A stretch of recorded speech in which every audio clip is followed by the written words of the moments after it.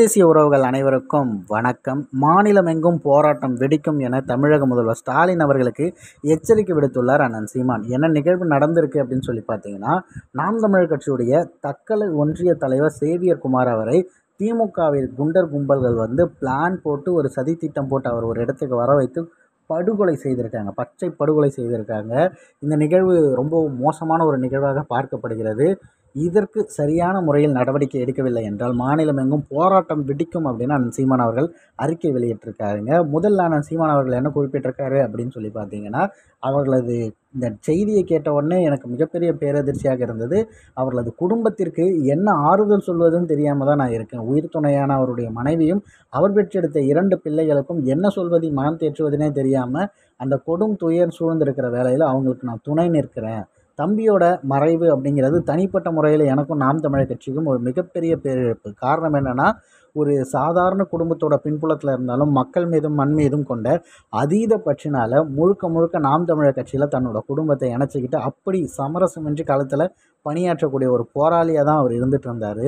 அந்த சேவியர் குமார் அப்படிங்கிறவர் மயிலேடு கிராமத்தில் புனித மைக்கேல் அப்படிங்கிற ஒரு கத்தோலிக்க திருச்சபைக்கு போய்க்கு வரக்கூடியவர். அந்த தேவாலயத்தில் நடக்கக்கூடிய பல முறைகேடுகளை நேரடியாக தோல் உரிச்சிருக்காரு அதற்கு பின்னாடி அந்த ஃபாதர் மட்டும் இல்லாமல் அங்கே இருக்க அந்த திமுகவுடைய ஒன்றிய செயலாளர் ரமேஷ் பாபு அப்படிங்கிறவருக்கும் சம்மந்தம் இருக்குது ஸோ அது தொடர்ச்சியாக அங்கே நடக்கக்கூடிய அந்த பிரச்சனை எல்லாத்தையும் அவர் தட்டி கேட்க அவருக்கு கொலை மிரட்டல் எல்லாமே விடுத்திருக்காங்க. ஸோ காவல் நிலையத்தில் போய் புகார் அளித்து எனது உயிருக்கு அச்சுறுத்தல் இருப்பதாக அவர் ஆல்ரெடி சொல்லியிருக்காரு. அப்படி இருந்தும் கூட அவங்க எந்த ஒரு நடவடிக்கையும் எடுக்கவே இல்லை.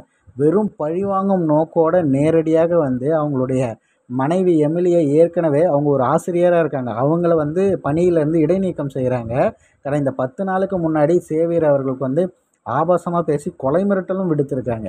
அதெல்லாம் போகத்தான் அந்த பங்கு தந்தை நான் சமாதானம் பேசுகிறேன் அப்படின்னு சொல்லிட்டு ராபின்சன் அவர்கள் வந்து அவங்க வீட்டில் எல்லாரையும் வர வைத்து அதாவது அவர் கூட இருக்க கூட்டாளிகள் எல்லாம் ஜஸ்டஸ் ரேக் ஜெசிஸ் Vincent Vino Abhilesh Edwin Jose அப்படிங்கிற எல்லாரும் அந்த ராபின்சன் வீட்டில் வந்து கொடூரமாக அவரை தாக்கி பச்சை படுகொலை செய்திருக்காங்க.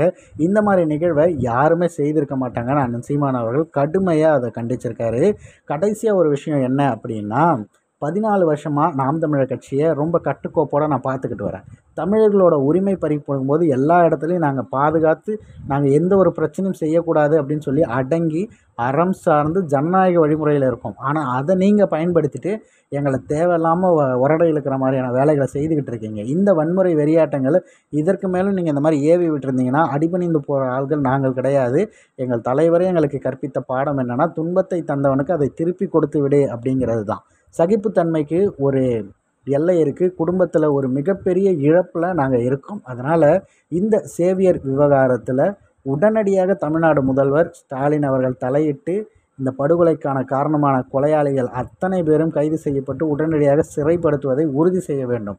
அப்படி இல்லைன்னு வச்சுக்கோங்களேன்.